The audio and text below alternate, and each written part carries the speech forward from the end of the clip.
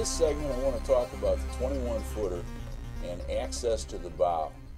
What you're looking at here is this is the console. Here's your outer top side. Look at the room we have to walk as we go forward up into our cock or up into the bow area.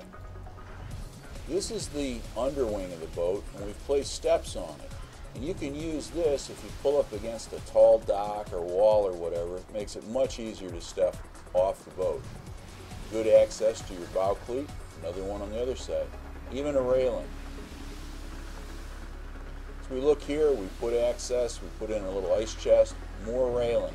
Again, imagine a boat that you can walk that far forward in and still be down inside of the hull. What a great place to fish or to work the area. A little more.